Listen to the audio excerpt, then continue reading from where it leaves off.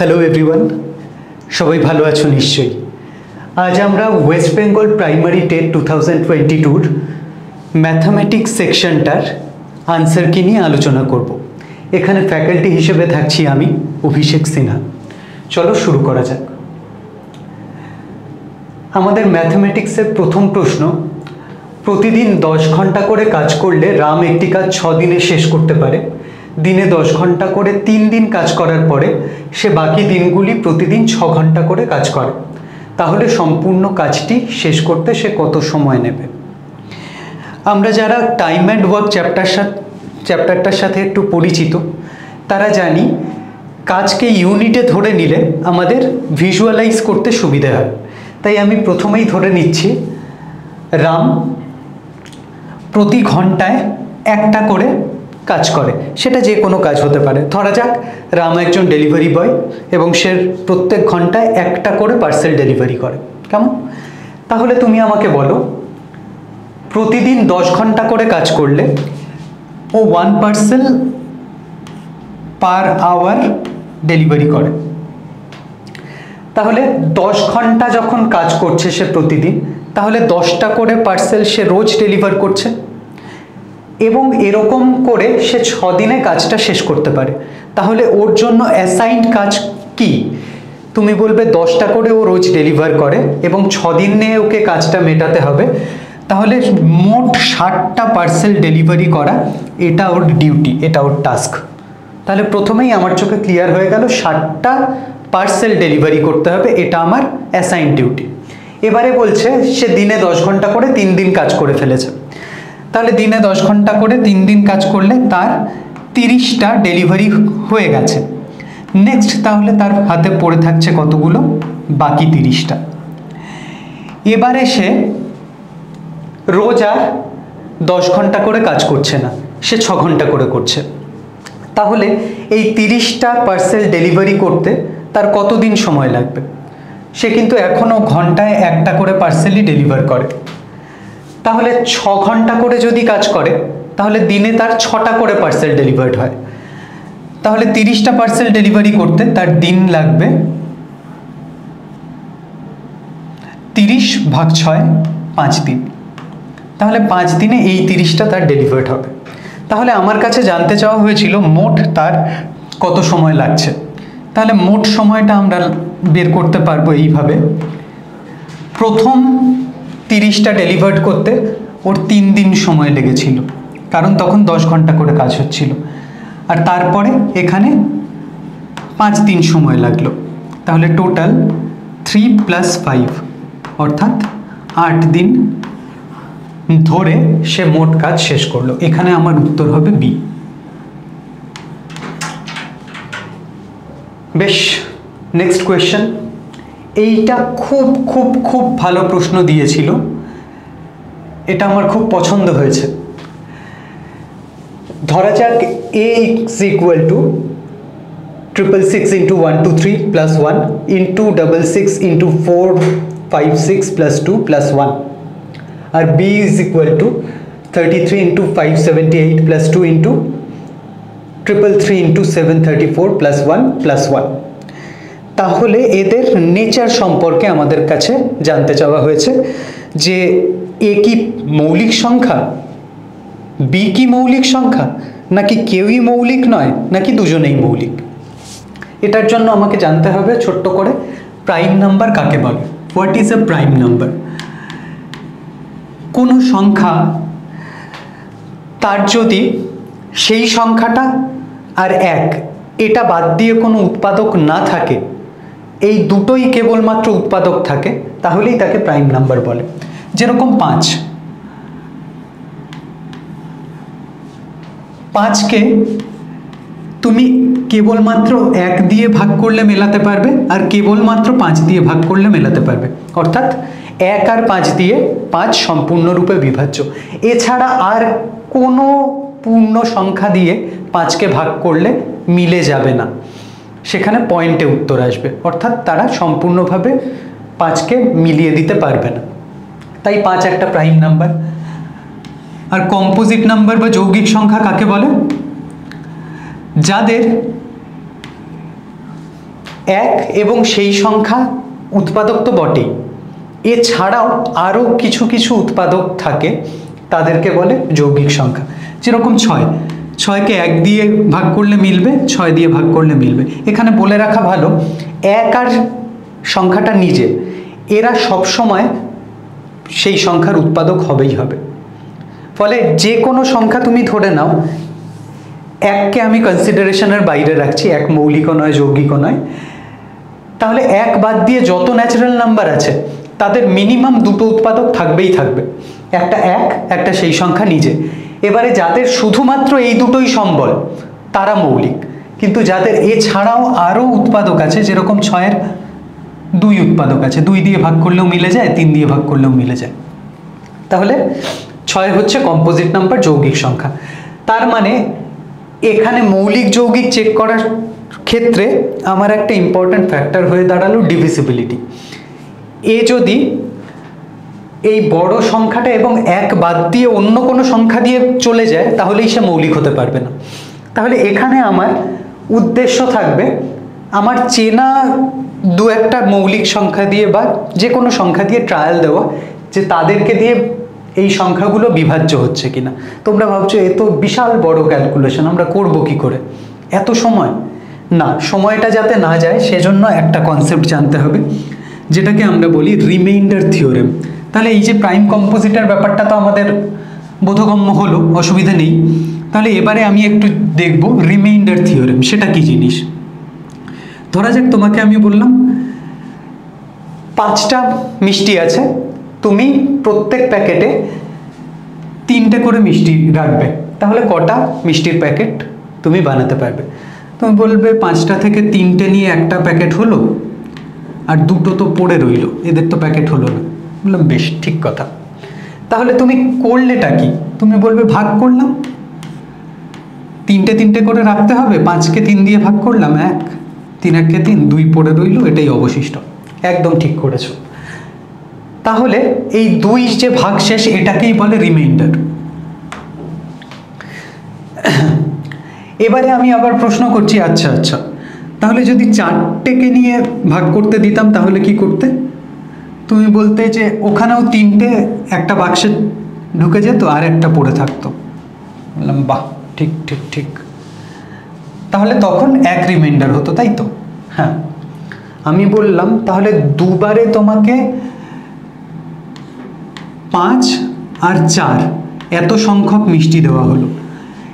এবারে যদি আমি বলি, তোমাকে একসাথে পাঁচ আর চার, এতগুলো মিষ্টি দিয়ে দেওয়া হয়েছে। তাকে তিনটে তিনটে করে প্যাকেট করো। তুমি বলবে, পাঁচ আর চারের নটা প্যাকেট মানে নটা মিষ্টি আমাকে ভাগ করতে দিয়েছে? আমি তিনটে তিনটে করে প্যাকেট করছি। তাহলে তিন দিয়ে নয়কে ভাগ করব, তিন দুগুণে ছয় হয়ে গেল। সরি তিন তিরিক্ষে নয় হয়ে গেল। এবং আমার সবকটা মিষ্টি প্যাকেটে উঠে গেল। কিচ্ছু পড়ে রইল না। বললাম এক্সেলেন্ট ঠিক কথা। তাহলে তুমি কি এটাকে এইভাবে ভাবতে পারো? আমি প্রশ্ন করেছি, তোমাকে পাঁচটা আর চারটে, মোট এতগুলো দেওয়া হয়েছে মিষ্টি। তুমি তাকে প্যাকেট করছ এবং তোমার কাছে আলটিমেটলি কটা পড়ে থাকছে? এইটা আমার প্রশ্ন, অর্থাৎ রিমাইন্ডার কত? তাহলে তুমি বলছো যে প্রথমে পাঁচটা করতে গেলে দুটো পড়ে থাকছিল। আর একটা করতে গেলে একটা পড়ে থাকছিল। তাহলে টোটাল হচ্ছিল তিনটে এক্সট্রা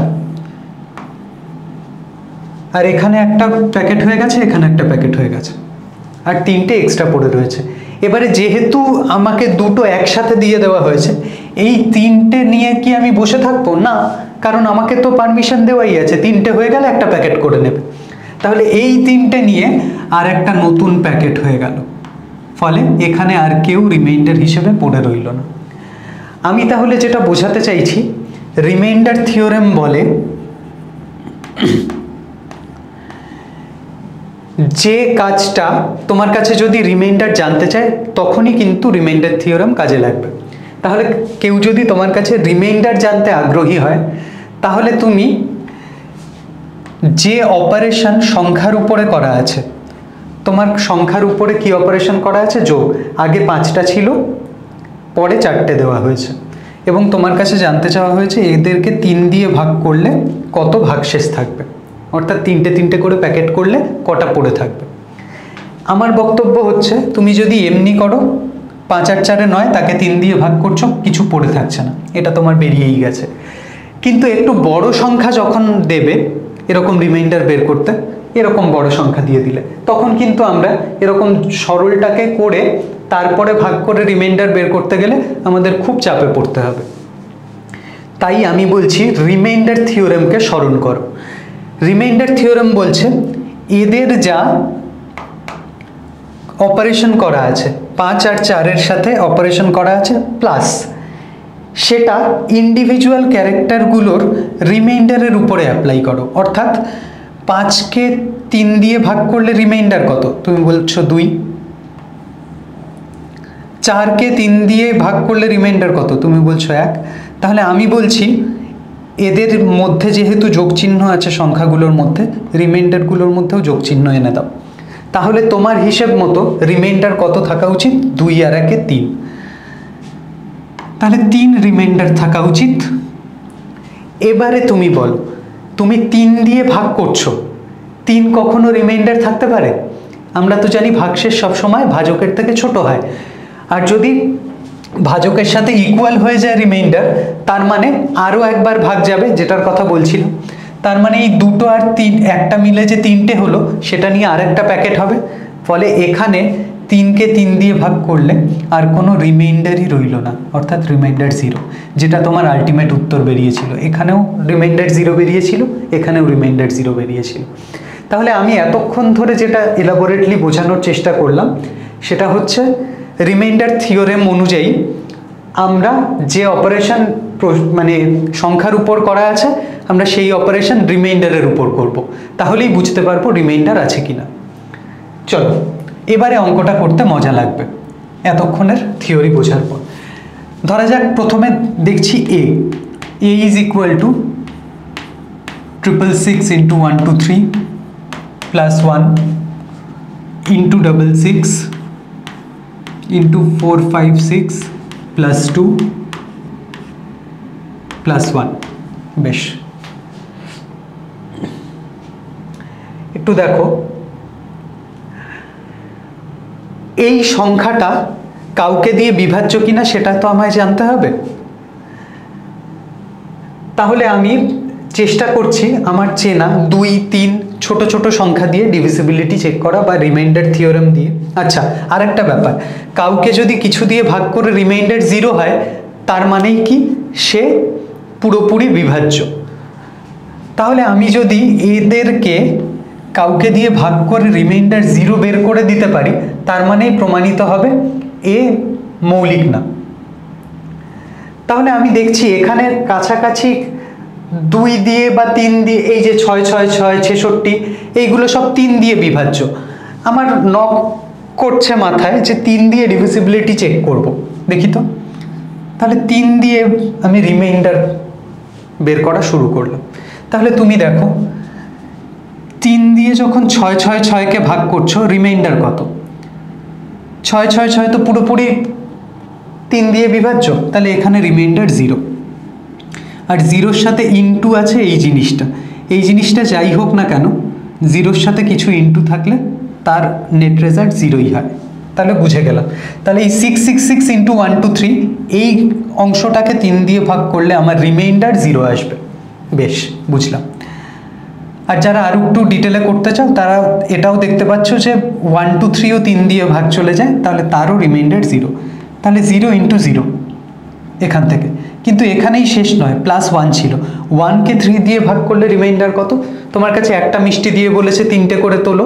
তুমি বলবে তুলতেই পারব না, তাহলে একটাই পড়ে থাকবে। তাহলে সেক্ষেত্রে রিমাইন্ডার ওয়ান তাহলে প্লাস ওয়ান তাহলে এই গোটা অংশটা থেকে আমার রিমাইন্ডার কী বেরোলো?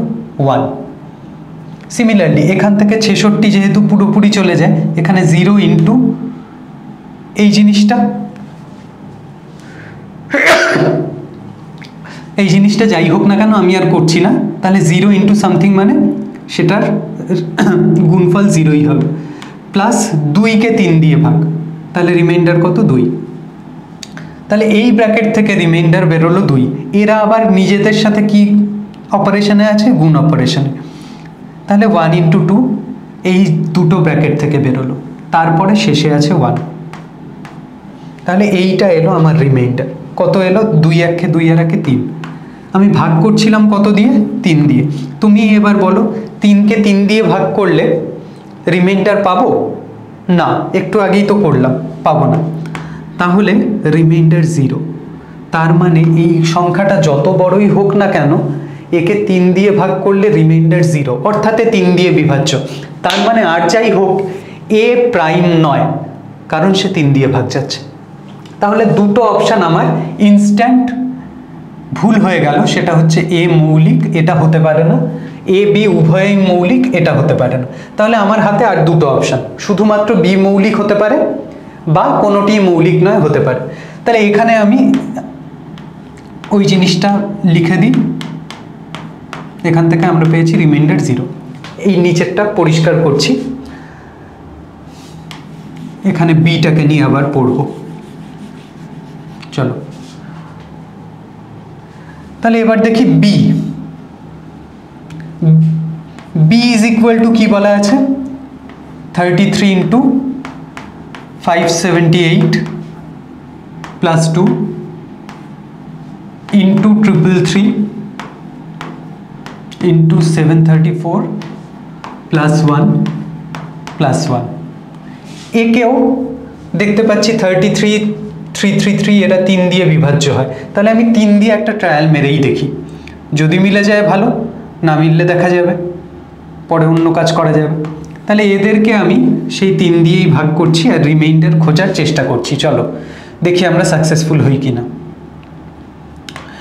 তাহলে থার্টি থ্রি তাকে থ্রি দিয়ে ভাগ করলে রিমাইন্ডার জিরো আর জিরোর সাথে কিছু গুণ আছে, তার মানে রিমাইন্ডার এই অংশটা থেকে জিরো কিন্তু প্লাস টুও আছে।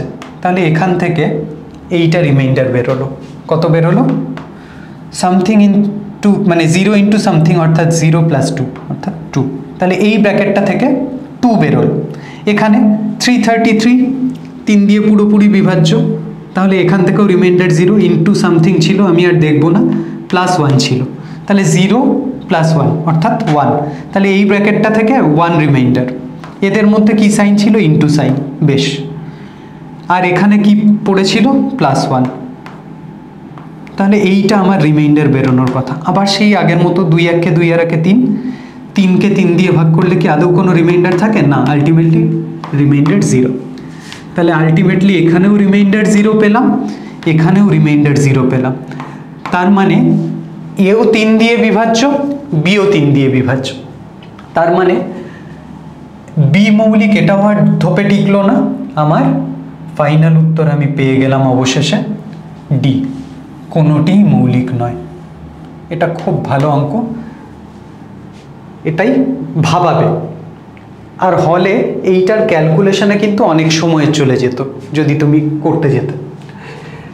চলো নেক্সট এটা একটা সিম্পলিফিকেশনের ছোট্ট অঙ্ক। Point one minus point zero one তাহলে আগে ব্র্যাকেটের কাজ আমরা জানি। বদমাস রুল। সিম্পলিফিকেশনের ক্ষেত্রে এটা খুব বিখ্যাত নিয়ম যে ব্র্যাকেট থাকলে আগে কাজ করব, তারপরে অফ মানে এর, তারপরে ডিভিশন মাল্টিপ্লিকেশন অ্যাডিশন সাবট্রাকশন এখানে ব্র্যাকেট দেখতে পাচ্ছি, তাহলে ব্র্যাকেটের কাজ আগে করে নিই এখানে একটা ব্র্যাকেট এখানে একটা ব্র্যাকেট তাহলে পয়েন্ট ওয়ান থেকে পয়েন্ট জিরো ওয়ান বাদ দিলে কত হচ্ছে? পয়েন্ট জিরো নাইন এখানে জিরো লিখানো তাহলে zero point zero nine into এখানে জিরো পয়েন্ট ইলেভেন মানে zero point one one eleven বলে না। আর এখানে পয়েন্ট জিরো ওয়ান আর point zero zero zero one এদেরকে যোগ করলে হয় point zero one zero one তাহলে একে আমাকে সিম্পলিফাই করতে হবে। চলো করি। তাহলে যেটা করছিলাম এখানে পয়েন্ট জিরো নাইন আর পয়েন্ট ওয়ান ওয়ান এদেরকে গুণ করতে হবে। তাহলে দেখতে পাচ্ছি সোজা কথা এটা নাইন ইন্টু ইলেভেনের গুণ। তাহলে নয়, এগারো, নিরানব্বই। কিন্তু পয়েন্ট ক ঘর পেছাবে? এখানে দু ঘরের পরে পয়েন্ট আছে, এখানেও দু ঘরের পরে পয়েন্ট আছে। তাহলে আমাকে চার ঘর পেছাতে হবে। নাইন নাইন এখানে তাহলে জিরো জিরো তাহলে এটা এলো, আর তার সাথে গুণ আছে zero point zero one zero one. ঠিক আছে? তাহলে এই গুণটা করলে আমার উত্তর কি আসছে? এটা নিজেরা করো। এটা আমি করেছি যেহেতু, আমি উত্তর বলতে পারি। Zero point zero zero zero triple nine total চারটে জিরো ট্রিপল নাইন অর্থাৎ এদের মধ্যে আনসার হচ্ছে এ ঠিক আছে? চলো।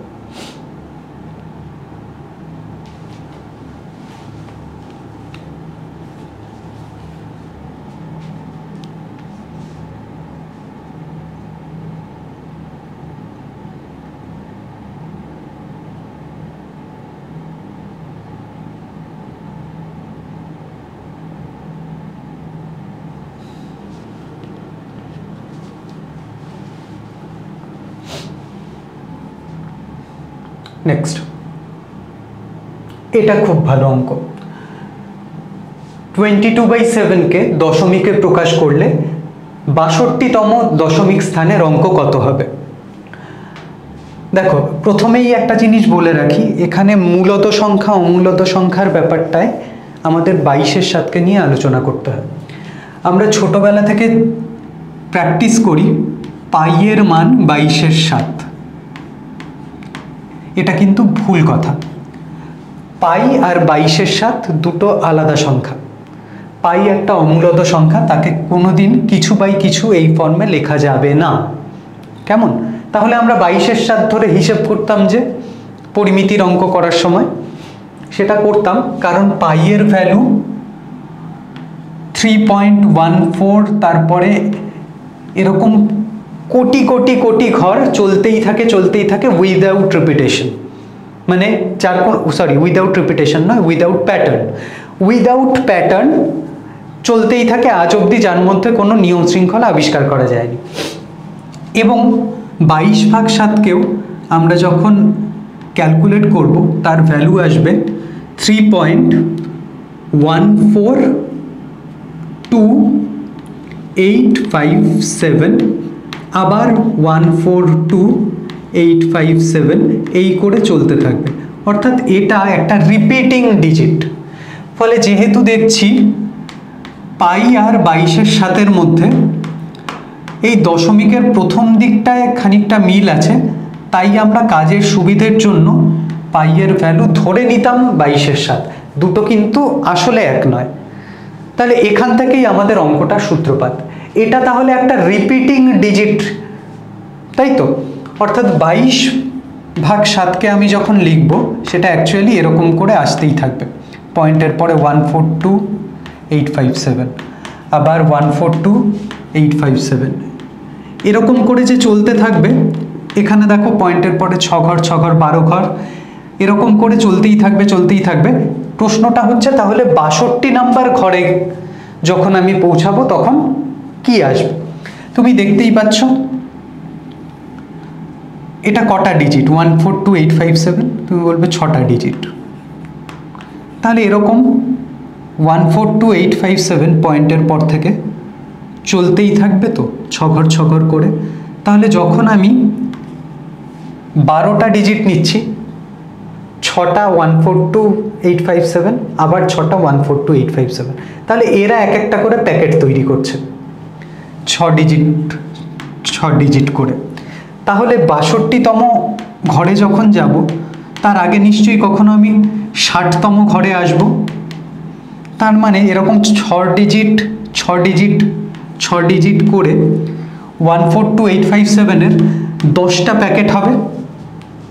তুমি বললে হ্যাঁ। তার মানে এই ষাট নাম্বার ঘরে গিয়ে এই one four two eight five seven দিয়ে শেষ হয়ে গেল।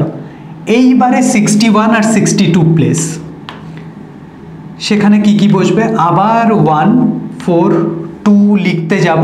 আমাকে বলবে, লিখছো কেন? তোমার তো প্লেস শেষ।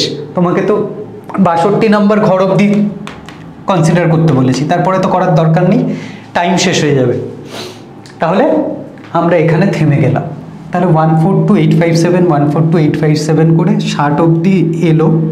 এইট ফাইভ সেভেন হয়ে শেষ হয়ে গেল সেটা ডিজিট তারপরে আবার একটা ওয়ান ফোর যেই হলো, আমার সিক্সটি টু ঘরে পৌঁছে গেল। তাহলে সিক্সটি টু ঘরে সিক্সটি সেকেন্ড ঘরে আমার ডিজিটটা কে এলো? ফোর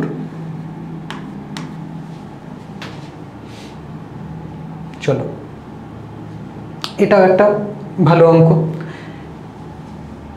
আমরা জানি কখনো যদি এরকম প্রশ্ন আসে two plus two into one plus three তাহলে তুমি এটাকে লিখবে two into one plus two into three অর্থাৎ টু ইন্টু ওয়ান করে টু আর টু ইন্টু থ্রি করে সিক্স টোটাল এইট বা তুমি এটাকে একবারে যোগ করে চার করে দিয়ে তাকেও দুই দিয়ে গুণ করে এইট লিখতে পারো।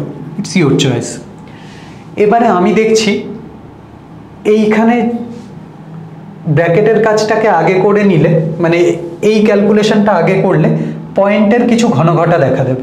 তাই আমি সেটাকে এড়ানোর জন্য প্রথম পন্থাটাই চলবো। One two one two one two. তাকে গুণ করব ওয়ান বাই একশো দিয়ে।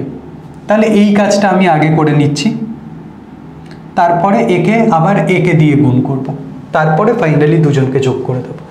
তাহলে যেহেতু একশো দিয়ে ভাগ আমি এটা দেখতে পাচ্ছি one two one two one two একশো দিয়ে ভাগ বলে পয়েন্টের দুঘর পেছনে দশমিক অ্যাপিয়ার করবে। বেশ বেশ বেশ, বুঝলাম। আবার এইটার মানে কি? One two one two one two তাকে দশ হাজার দিয়ে ভাগ। তাহলে পয়েন্টের আমরা এইটাকে যখন করব, তার ভ্যালু আসবে one two one two one two পয়েন্টটা পিছিয়ে আসবে চার ঘর। তাহলে এটা আমার ব্যাপার দাঁড়াল। এবং এদের যোগ করতে হবে ফাইনালি তাহলে কি হলো? দেখতেই পাচ্ছ, এখানে কিছু নেই মানে আমরা জিরো দিয়ে জায়গাটাকে পূরণ করি এবং তারপরে এগিয়ে যাই। টু ওয়ান চার, দুই, এখানে দুই দুই, চার। One two two four plus two four one two তাহলে আমাদের বি উত্তর।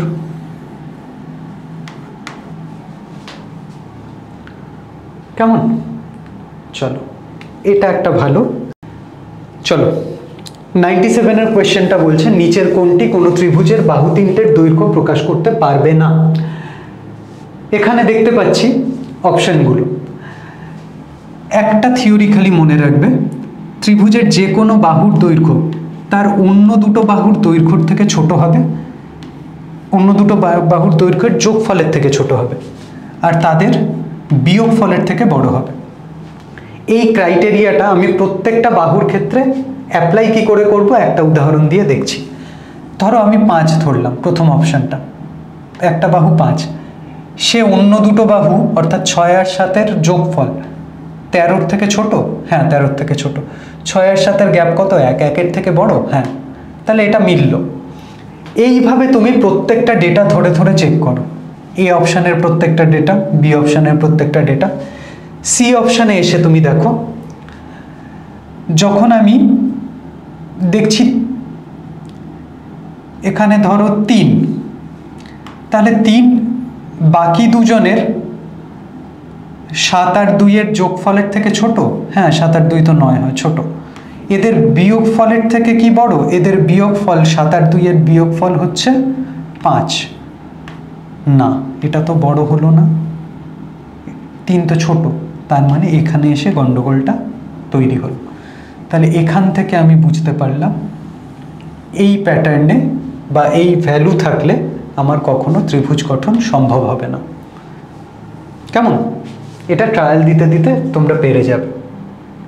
নেক্সট সংখ্যার মধ্যে লেখা যে যে অঙ্কের স্থানীয় মান তার স্থানের উপর নির্ভরশীল নয় সেটি হলো এদের মধ্যে কোনটি?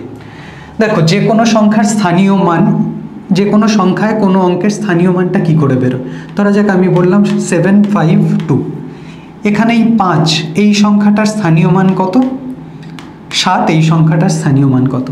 আমরা ছোটোবেলা থেকে একক, দশক, শতক এইভাবে পড়েছি। স্থানীয় মান এই ঘরগুলোর উপরে নির্ভরশীল। এককের ঘর মানে এক, দশকের ঘর মানে দশ, শতকের ঘর মানে একশো।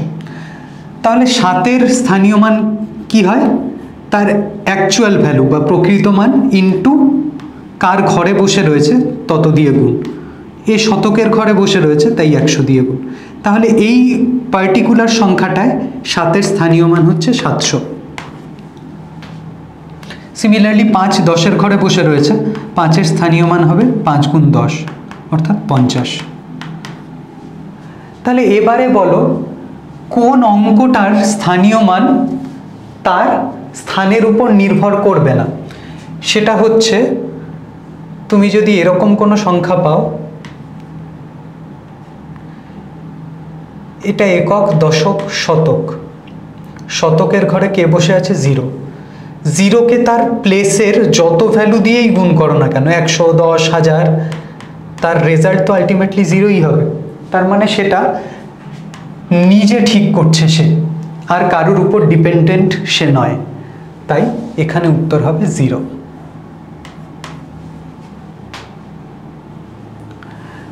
নেক্সট যদি একটি স্বাভাবিক সংখ্যার সকল যথার্থ উৎপাদকের সমষ্টি সংখ্যাটি নিজেই হয়, তাহলে সংখ্যাটিকে নিখুঁত বলা হয়। যেরকম একটা বলে দিয়েছে, ধরা যাক ছয়। তার কি কি উৎপাদক আছে? আগে মৌলিক উৎপাদকে ভেঙে নিই, এটা দুই দিয়ে গেল, তিন দিয়ে গেল, ঠিক আছে। তাহলে সব উৎপাদক নিয়ে যদি আমি আলোচনা করি ছয়ের, একটু আগেই একবার হয়েছে, ছয়ের কি কি উৎপাদক আছে? এক, দুই, তিন আর ছয়। একটা উৎপাদক তো সেই সংখ্যাটা নিজেই, আমি তাকে বাদ দিচ্ছি। বাকি যে উৎপাদক আছে এক, দুই আর তিন। এদেরকে কি যোগ করলে এই সংখ্যাটাই পাওয়া যাচ্ছে? তুমি বলবে তিন আর দুইয়ে পাঁচ আর একে ছয়। হ্যাঁ পাওয়া যাচ্ছে। এরকম যদি পাওয়া যায়, সংখ্যাটির অন্যান্য উৎপাদকগুলোর যোগফল যদি সংখ্যাটি নিজেই হয়, তাহলে তাকে বলে পারফেক্ট নাম্বার নিখুঁত সংখ্যা। তাহলে সেই অনুযায়ী ছয় একটা নিখুঁত সংখ্যা। এবারে আমার কাছে জানতে চাওয়া হয়েছে টোয়েন্টি এইট আর ফর্টি টু এরা কি নিখুঁত? চলো, দেখে নিই।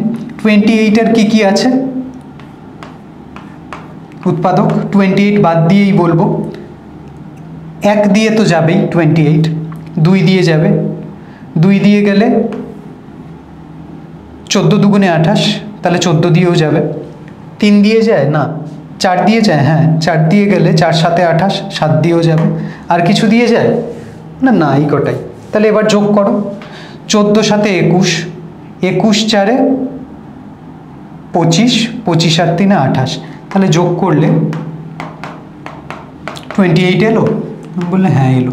তাহলে টোয়েন্টি এইট তো পারফেক্ট বটেই। এটা বোঝা গেল। ফর্টি টুর কী কী আছে? ফর্টি টুর আছে এক, দুই দিয়ে করলে একুশ একুশ দুগুণে বিয়াল্লিশ, তিন দিয়ে করলে হ্যাঁ তিন চোদ্দ বিয়াল্লিশ। আর কিছু দিয়ে যায়? একুশ দুগুণে বিয়াল্লিশ, তিন চোদ্দ বিয়াল্লিশ, আর কিছু? ছয় সাথে বিয়াল্লিশ। তাহলে যোগ করে দেখো তো, বিয়াল্লিশ আসছে। বললেন না, এখানে তো একুশ, চোদ্দ আর সাথে একুশ একুশ একুশ এখানেই বিয়াল্লিশ হয়ে যাচ্ছে। তার সাথে এতগুলো যোগ করলে তো আরও বেড়ে যাবে। তাহলে বিয়াল্লিশ পারফেক্ট নাম্বার হলো না, আঠাশ পারফেক্ট নাম্বার তাহলে এইটা উত্তর হবে, আঠাশ নিখুঁত কিন্তু বিয়াল্লিশ নয়। এটা তোমাদের সিলেবাসে যে প্যাটার্ন চ্যাপ্টারটা ছিল, সেখান থেকে দেওয়া। এখানে আমি দেখো প্রথম যে দেখতে পাচ্ছি ছবিটা, তাতে এক নাম্বার দিলাম, এক নাম্বার পরেরটা দু নম্বর তারপরেরটা তিন নম্বর তারপরেরটা চার নম্বর এরকম করে নাম্বার এগোতে এগোতে যাবে। এরকম চলতে থাকলে বলছে দশম ত্রিভুজে কটা ডট থাকবে? প্রথম ত্রিভুজে একটা ডট, দ্বিতীয় ত্রিভুজে তিনটে, তৃতীয়তে ছটা, চার নম্বরে দশটা। তাহলে যখন আলটিমেটলি টেন্থ ত্রিভুজ আসবে, তার কতগুলো ডট থাকবে? এখানে তুমি লেয়ার যদি খেয়াল করো, তাহলেই বুঝতে পারবে। দেখো, এক নম্বর যে ত্রিভুজ, তাতে একটা ডট। দু নম্বর ত্রিভুজ, তাতে একটা ডট, তারপরে দুটো ডট। তিন নম্বর ত্রিভুজ একটা, দুটো, তিনটে।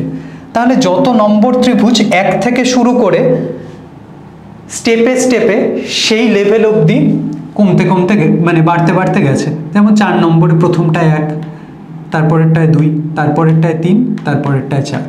তাহলে দশ নম্বর ত্রিভুজের টোটাল ডট কি হবে? এক, দুই, তিন, চার, পাঁচ, ছয় তারপরের লাইনে সাত, তারপরের লাইনে আট, তারপরের লাইনে নয়, তারপরের লাইনে দশ। তাহলে এতগুলো ডট যোগ করে যা হবে সেটাই উত্তর হবে। এটা আমরা জানি এপি সিরিজ। এপিতে দশটা টার্মের সামেশন বের করতে হয়। সেটা হচ্ছে n into n plus one by two তাহলে এখানে দশটা টার্ম আছে দশ এন প্লাস ওয়ান তাহলে দশ আর একে এগারো, সেটা বাই টু তাহলে কত হলো? পাঁচ এগারো, পঞ্চান্নটা। তাহলে এখানে আমার উত্তর হবে সি নেক্সট পূর্ণবর্গ সংখ্যা পাওয়ার জন্য থ্রি ডাবল ফাইভ সেভেন ফোরকে এন দিয়ে ভাগ করতে হবে। এন এর সর্বনিম্ন মান কত? তাহলে three double five seven four এই সংখ্যাটাকে মৌলিক উৎপাদকে বিশ্লেষণ করা খুব দরকার। চলো করতে শুরু করি। এটা দেখতে পাচ্ছি দুই দিয়ে যাবে। তাহলে সতেরো দুগুণে চৌত্রিশ, পনেরো নামলো, সাত দুগুণে চোদ্দ, সতেরো, আট দুগুণে ষোলো, আবার সাত দুগুণে চোদ্দ। এটা কি দুই দিয়ে যাবে না আর দুই দিয়ে যাবে না? তিন দিয়ে যাবে? দেখি যোগ করে। একুশ, বাইশ আর আঠাশ, তিরিশ হ্যাঁ যাবে, তিন দিয়ে যাবে। তাহলে তিন পাঁচা পনেরো, সাতাশ, তিন নং সাতাশ, তিন দুগুণে ছয় তিন নং সাতাশ। বুঝলাম। তিন দিয়ে যাবে আর? না তিন দিয়ে যাবে না। পাঁচ দিয়েও যাবে না। সাত দিয়ে যাবে? হুম, সাত দিয়ে যাবে। চলো। ছয় সাথে বিয়াল সরি সাত আটে ছাপ্পান্ন। বত্রিশ তাহলে চার সাথে আঠাশ। ফর্টি নাইন সাত সাথে উনপঞ্চাশ উম, এটা আবার সাত দিয়ে যাবে। সাত একে সাত সাত দুগুণে চোদ্দ, সাত একে সাত, একশো একুশ, এগারো দিয়ে যায়। এগারো এগারো, একশো একুশ। এবারে তুমি বলো পারফেক্ট স্কোয়ার হতে হলে সবকটা মৌলিক উৎপাদককে জোড়ায় জোড়ায় আসতে হয় না? হ্যাঁ হয়। তাহলে এগারো এগারো পেয়ারে আছে, সাত সাত পেয়ারে আছে। পেয়ারে নেই কে? দুই আর তিন। তাহলে এই দুটোকে যদি হাটিয়ে দেওয়া যেত, তাহলে বাকিটা তো পূর্ণবর্গ হয়ে যেত, কারণ সাত গুণ সাত গুণ এগারো গুণ এগারো। তাহলে এই দুই গুণ তিন, একে দিয়েই ভাগ করে দিলে দুই আর তিন কাটাকাটি চলে যাবে। তখন পড়ে থাকবে এই সংখ্যাটা যে পারফেক্ট স্কোয়ার তাহলে আমাকে ভাগ করতে হবে দুই গুণ তিন ছয় দিয়ে। তাহলে ঝামেলা পাকানোর এলিমেন্ট এরা। আমার উত্তর হচ্ছে এটা। নেক্সট প্রথম একশোটি মৌলিক সংখ্যার গুণফলের একক স্থানীয় অঙ্ক। এটা ভালো প্রশ্ন। মৌলিক সংখ্যাগুলোর শুরু হয় কাকে দিয়ে? দুই দিয়ে। দুই গুণ তিন গুণ পাঁচ গুণ সাত গুণ এরকম করে চলতেই থাকবে চলতেই থাকবে চলতেই থাকবে। একক স্থানীয় অঙ্কের ক্ষেত্রে পাঁচ খুব ইম্পর্ট্যান্ট রোল প্লে করে। কারোর সাথে পাঁচ গুণ থাকলে তার দুটোই পরিণতি। হয় একক স্থানে শূন্য আসবে, না হলে একক স্থানে পাঁচ আসবে। পাঁচের ঘরের নামটা তুমি পড়ে দেখো। এখানেও ব্যাপার আছে, পাঁচের সাথে যদি শুধু অযুগ্ম সংখ্যা গুণ হয়, তাহলে একক স্থানের অঙ্কে পাঁচ আসবে। কিন্তু যদি কোনো জোড় সংখ্যা গুণ হয়ে যায় পাঁচের সাথে, তাহলেই জিরো চলে আসবে। এখানে দেখো, একটা জোড় সংখ্যা আছে, দুই। কারণ দুই একমাত্র জোড় মৌলিক সংখ্যা। তাহলে পাঁচ দুগুণে দশ তৈরি হয়ে যাবে। সেই দশ দিয়ে যত বড় সংখ্যাকেই গুণ করা হোক না কেন, একক স্থানীয় অঙ্কে কিন্তু জিরোই আসবে। তাহলে এখানে উত্তর হবে জিরো। যদি এখানে মেনশন করে দিত প্রথম একশোটি অযুগ্ম মৌলিক সংখ্যার গুণফল। তখন কিন্তু দুইকে আমরা কনসিডারেশনে আনতে পারতাম না। তখন গুণফলের একক স্থানে পাঁচ আসতো। এটা বুদ্ধির অঙ্ক ছিল। চলো। এটা আমাদের একদম বেসিক থিওরি আমরা জানি যখন কোনো কোন জিরো ডিগ্রি থেকে নাইনটি ডিগ্রির মধ্যে লাই করে সেটা হচ্ছে সূক্ষ্ম কোণ। নাইনটি ডিগ্রি হলে অ্যাকচুয়ালি সেটা হয় সমকোণ। কেউ নাইনটি ডিগ্রি থেকে একশো আশি ডিগ্রি এই রেঞ্জে লাই করলে সেটা হয় স্থূলকোণ। কেউ যদি পুরোপুরি একশো আশি ডিগ্রি হয়, সে হয় সরল কোণ কেউ যদি একশো আশি ডিগ্রি থেকে বড়, কিন্তু তিনশো ষাট ডিগ্রির থেকে ছোট হয়, তাকে বলে প্রবৃদ্ধ কোণ। তাহলে এই কনসেপ্টগুলো কাজে লাগালেই আমরা দেখতে পাচ্ছি টোয়েন টু টোয়েন্টি তাহলে এটা কি? প্রবৃদ্ধ। এটা কি? সরল, একশো আশি ডিগ্রি। এটা কি? নাইনটি ডিগ্রির থেকে কম, সূক্ষ্ম। তাহলে এরকম অপশান কি আছে? প্রবৃদ্ধ সরল সূক্ষ্ম ডি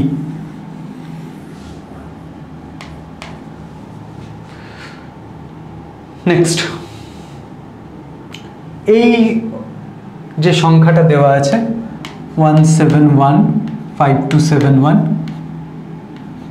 এখানের যে দুটো সাত আছে, তার স্থানীয় মানের অন্তর কত? এই সাতটার স্থানীয় মান কত? তুমি বলবে সাত, তারপরে কটা ঘর আছে? একটা ঘর। ততগুলো শূন্য। উপরের সাতটার কত স্থানীয় মান? সাত। তারপরে কটা ঘর আছে? এক, দুই, তিন, চার, পাঁচ। তাহলে এক, দুই। এক, দুই, তিন, চার, পাঁচ তো এক, দুই, তিন, চার, পাঁচ। তাহলে এদের বিয়োগফল জানতে চাওয়া হচ্ছে আমাদের কাছে। তাহলে এর থেকে সত্তর বাদ দিতে হবে। তাহলে কি হবে? তিন। এক হলে নয় নামবে, আবার এক হলে নয় নামবে, আবার এক হলে নয় নামবে, ছয়। Six triple nine three zero তাহলে এখানে এই উত্তর। নেক্সট এই অঙ্কটা দেখো। একশো সকল উৎপাদকগুলির সমষ্টি হলো। তাহলে একশোর সব উৎপাদকগুলো দেখে নিই। তারপরে সমষ্টি বের করা যাবে। একশোর কী কী উৎপাদক আছে? এক একশো, দুই, পঞ্চাশ তিন দিয়ে যায় না চার, পঁচিশ, পাঁচ, কুড়ি আর দশ। তাহলে এইগুলোকে সব যোগ করে দেখি কত হয়।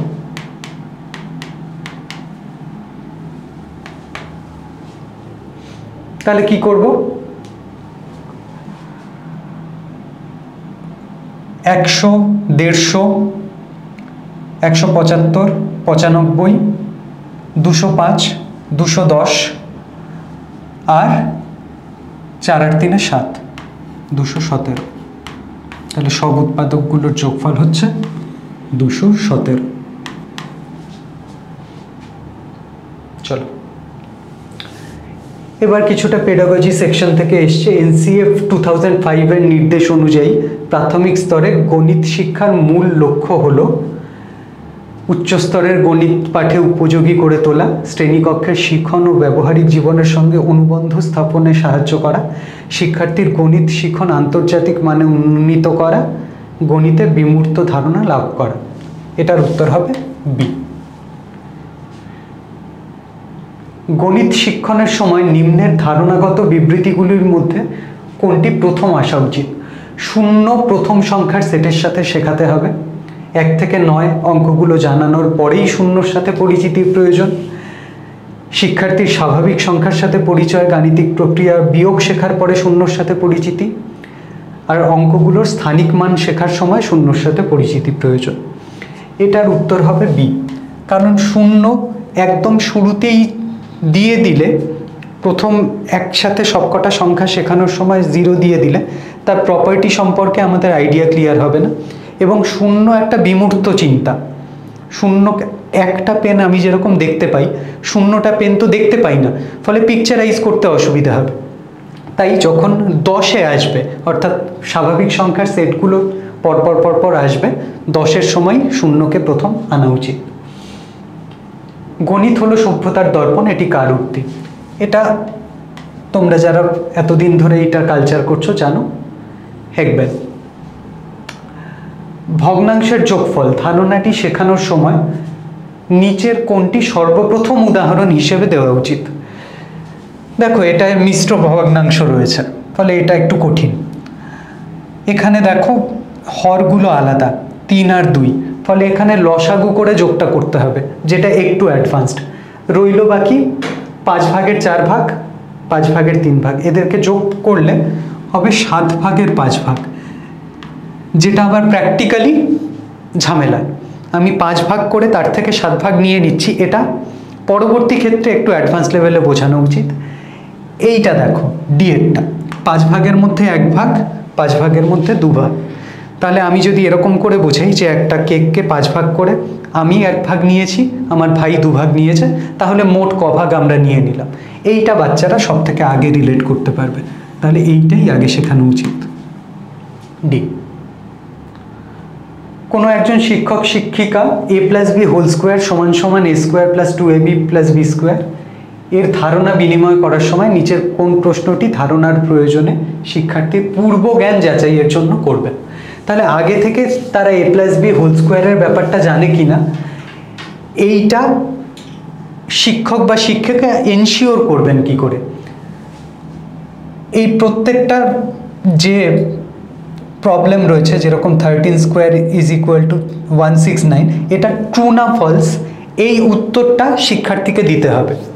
তাহলে আমরা দেখতে পাচ্ছি thirteen square one sixty nine ঠিক আছে। এইটাও দেখো ফাইভ স্কোয়ার পঁচিশ থ্রি স্কোয়ার নাইন ঠিক আছে। সিক্সটি সেভেনের স্কোয়ার কত? Sixty seven into sixty seven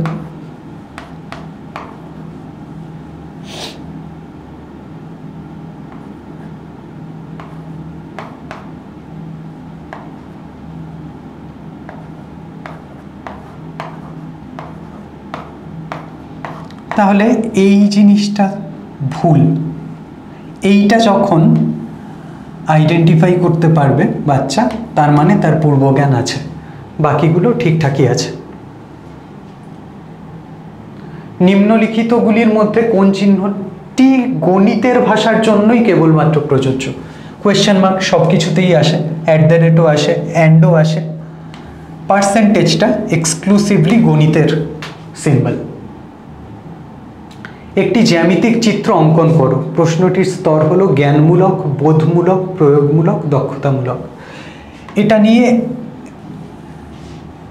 আমাদের ধারণাটা খুব পরিষ্কার। এটার উত্তর হবে দক্ষতামূলক। জ্যামিতি বিষয়ে শিক্ষার্থীর মধ্যে প্রেষণা জাগাতে নিম্নলিখিত কোনটির প্রয়োজন নেই। জীবন থেকে উদ্ভূত সমস্যা তো খুবই প্রয়োজন, তাহলে রিলেট করতে পারবে। কাগজের ভাঁজ দিয়ে বোঝানো, এটাও খুব ভালো। গাণিতিক খেলা, এটাও ভালো। জ্যামিতি সংক্রান্ত জটিল সমস্যা। জটিল সমস্যা দিলে তারা মোটিভেটেড তো হবে না, ফলে এটাই আমাদের প্রয়োজন নেই। বৃত্তের জন্য নিচের কোন বিবৃতিটি ঠিক নয়। কেন্দ্র থেকে সমদূরত্বে অবস্থিত সকল জ্যায়ের দৈর্ঘ্য সমান। হ্যাঁ এটা ঠিক কথা। কেন্দ্র থেকে যদি এই জ্যাটা এত, এতটা দূরত্বে থাকে এবং এখানেও এতটা দূরত্বে থাকে, তাহলে তাদের দৈর্ঘ্য সমান হতেই হবে। তাহলে এটা ঠিক আছে, ঠিক নয় জানতে চেয়েছে। সমদৈর্ঘ্যের সকল যে বৃত্তের কেন্দ্র থেকে সমদূরত্বে অবস্থিত হ্যাঁ এটাই আগেরটা। দুটো পরস্পর সমান্তরাল জ্যায়ের মধ্যবিন্দু, সংযোজক সরল সংযোজক রেখাংশ সর্বদাই বৃত্তের কেন্দ্রগামী হয়। না, এখানে গন্ডগোল আছে। দুটো সমান্তরাল জ্যা এরকম হতে পারে, এইটা এইটা। তাদের সংযোগকারী রেখাংশ তো এইটুকুনি। এটা সবসময় কেন্দ্রগামী নাও তো হতে পারে। যদি তারা দুজনেই কেন্দ্রের এপাশে ওপাশে থাকে, তখন না হয় হলো। ধরো, দুটো সমান্তরাল যে এরকম হলো, তখন তাদের সংযোগকারী রেখাংশ কেন্দ্র দিয়ে যাবে, এটা আমি মেনে নেব। কিন্তু এরকম কেস হলে, তখন তাদের সংযোগকারী রেখাংশ তো কেন্দ্র দিয়ে যাবে না। মধ্যবিন্দু সংযোজক রেখাংশ। লাস্টেরটা কি বলছে? দুটো পরস্পর সমান্তরাল জ্যায়ের মধ্যবিন্দু সংযোজক সরল রেখা। হ্যাঁ মধ্যবিন্দুর সংযোজক সরল রেখা যদি টানি, সেটা এইদিকে বিস্তৃত হবে, তখন সে কেন্দ্র দিয়ে পাস করবে, এটা ঠিক কথা। তাহলে ভুল কোনটা? আমার কাছে সেটাই জানতে চেয়েছে, এইটা ভুল। রেখাংশটা হবে না। প্রদত্ত বিবৃতিগুলি হলো, দুটো কোণ পরস্পর পূরক হয় যদি তাদের সমষ্টি নাইনটি ডিগ্রি হয়, একদমই ঠিক। তাহলে সত্তরের পূরক কোণ কত হবে? নব্বই থেকে সত্তরের ডিফারেন্স যত, কুড়ি, সেটাই। তাহলে এটা ঠিক। তাহলে প্রথমটাও ঠিক, এটাও ঠিক। কুড়ি ডিগ্রির পূরককোণ কত? সত্তর, এটাও ঠিক। নাইনটি ডিগ্রির পূরককোণের পরিমাণ হলো কত? জিরো ডিগ্রি ঠিক সবকটাই। আচ্ছা আমার কাছে ঠিক ভুল জানতে চাই। বলেছে, কোন ক্রমটি অনুযায়ী বোঝানো উচিত? একদম যেভাবে বলেছে, সেইভাবেই বোঝানো উচিত। ওয়ান টু থ্রি ফোরই ফলো করা উচিত। কারণ প্রথমে পুরক্ষণের ধারণাটা পাওয়ার পরে তারা সেটা অ্যাপ্লাই করতে শিখবে। একটি বৃত্তাকার চাকার একটি পূর্ণ ঘূর্ণনে অতিক্রান্ত পথের দৈর্ঘ্য নির্ণয়ের জন্য আমাদের নির্ণয় করতে হবে। চাকার ক্ষেত্রফল, চাকার পরিধি চাকার পরিধির দৈর্ঘ্য যে কোনো জায়ের দৈর্ঘ্য। একটা চাকা ফুল রোটেশন যখন করে, সে নিজের পরিধির সমান দৈর্ঘ্যই অতিক্রম করে। তাহলে এখানে উত্তর হবে চাকার পরিধির দৈর্ঘ্য। ধরা যাক পি একটি মৌলিক সংখ্যা, তাহলে কোন বিবৃতিগুলো? ঠিক। পি শুধুমাত্র দুটো পৃথক উৎপাদক আছে হ্যাঁ? P not equal to one হ্যাঁ ঠিক, কারণ ওয়ান মৌলিকও নয় যৌগিকও নয়। পি অবশ্যই অযুগ্ম সংখ্যা, এটা ভুল, কারণ একটু আগেই জেনেছি, দুই হচ্ছে ইভেন প্রাইম একমাত্র। তাহলে এটা ভুল আছে। অড যে হতেই হবে তা নয়। P minus two greater than is equal to zero দুই প্রথম মৌলিক সংখ্যা। তাহলে পরবর্তী মৌলিক সংখ্যাগুলো সবাই দুইয়ের থেকে বড় হবে। তাহলে দুইয়ের থেকে বড় কিছু থেকে দুই বাদ দিলে সে সবসময় জিরোর থেকে বড়। আর দুই নিজে হলে দুই থেকে দুই বাদ দিলে জিরো। তাহলে P minus two greater than equal to zero, এটাও ঠিক কথা। তাহলে এক, দুই আর চার, এই তিনটে ঠিক। নেক্সট অনুরূপ কোণের ধারণার জন্য আমাদের কোনটি বিবেচনার প্রয়োজন? অনুরূপ কোণ কাকে বলে? দুটো সমান্তরাল সরল রেখাকে যখন একটা ছেদক ছেদ করে, এই যে কোণগুলো উৎপন্ন হলো, এরা হলো অনুরূপ কোণ। তাহলে আমার লাগল কি? দুটো সমান্তরাল সরল রেখা আর একটা সাধারণ ছেদক। তাহলে এখানে আমার বি উত্তর হলো। নিম্নলিখিতগুলোর মধ্যে কোনটি গণিতের বৈশিষ্ট্য নয়? ফলাফলের অনিশ্চয়তাটা তো গণিতের বৈশিষ্ট্য হতেই পারে না। কারণ গণিতে নির্দিষ্ট একটা ফল আমরা পাই। ফলে এটাই উত্তর হবে। ফলাফলের অনিশ্চয়তা এটা গণিতের বৈশিষ্ট্য হতে পারে না। নিম্নলিখিত কোনটি? পার্বিক মূল্যায়ন বা ফরম্যাটিভ ইভ্যালুয়েশনের অপরিহার্য বৈশিষ্ট্য নয়। গণিতের বিষয়গত জ্ঞানের বিচার, গণিত ভীতি দূরীকরণ সমূল্যায়ন সময় সাপেক্ষ। এখানে উত্তর হবে সময় সাপেক্ষ। এটা নয়। কারণ এটা তাড়াতাড়িই করা যায়। ফলে ডিটেল অ্যানালিসিস সহ আমরা ম্যাথ সেকশনটা কমপ্লিট করলাম। আশা করি তোমরা বুঝতে পেরেছ এবং রিলেট করতে পারছ। তোমাদের সবার টেটটা ভালোভাবে পাশ হয়ে যাক। এই কামনাই করি। ভালো থেকো।